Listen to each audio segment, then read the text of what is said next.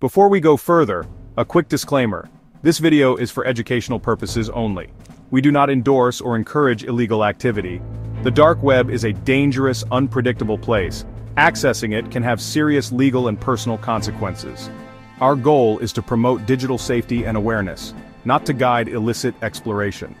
The dark web of 2025 is no longer a single shadowy corner, it's a sprawling decentralized network built on anonymity and encryption. Unlike the deep web, which is just unindexed content like your bank account, the dark web is intentionally hidden and only accessible with tools like the Tor browser. Its architecture shields both the vulnerable and the malevolent, making it a place of profound contradictions. The technologies powering it have grown more robust, but so have the threats. Privacy and free expression coexist with criminality here, and understanding this tension is crucial. Let's explore what really lurks beneath the surface. The dark web's population is a mix of the desperate, the idealistic, and the criminal. Journalists and whistleblowers use it to communicate safely and expose truths under oppressive regimes. Activists organize and speak freely, protected by anonymity, but it's also a hub for cybercrime. Hackers sell stolen data, ransomware gangs auction off access, and criminal enterprises run like businesses. Illicit marketplaces for drugs, fake documents, and weapons constantly reappear, using invite-only systems and cryptocurrency to evade law enforcement. Then there are the curious privacy advocates, tech enthusiasts, and those simply drawn by the mystique. Their presence highlights the appeal of a private internet, but also the risks of venturing too close to danger.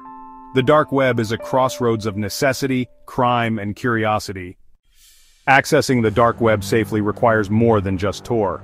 Experts recommend using a privacy-focused operating system like Tails, run from a USB stick to leave no trace. Pairing a reputable VPN with Tor adds another layer of protection, hiding your activity from your ISP. The Tor browser is your gateway but safe use demands discipline. Never maximize the window, disable scripts, and avoid downloading files. Good operational security, OPSEC, is essential. Never use real personal info, avoid suspicious links, and treat every interaction with skepticism. The most important tool is your mindset. Paranoia and caution are your best defenses. Observe, don't interact. Every link could be a trap, every user a threat. Survival here means assuming the worst and acting accordingly. The dark web looks like a relic from the 1990s clunky, slow, and text-heavy. There's no Google navigation relies on outdated directories like the hidden wiki, often filled with dangerous links. Yet legitimate uses exist secure email providers uncensored news and whistleblowing platforms like SecureDrop, Major media outlets run .onion sites to reach censored audiences. But the darkness is never far illegal marketplaces, extremist forums and disturbing content thrive in the shadows. In 2025 AI-driven crime is the new threat AI phishing kits deepfake services and adaptive malware are for sale.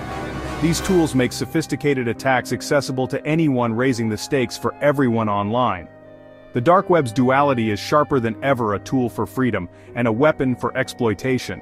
Navigating away from the worst corners is not just wise, it's necessary. The line between good and evil here is razor thin. The biggest risks on the dark web are malware, scams, and exposure to illegal content. One wrong click can infect your device or steal your data. Scams are everywhere, and trust is a liability.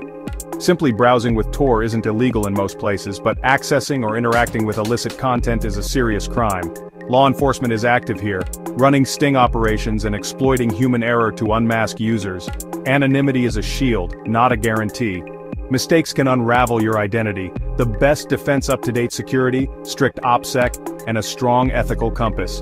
Educate yourself before exploring and never let curiosity override caution. The dark web reflects humanity's extremes. Approach it with care, or not at all.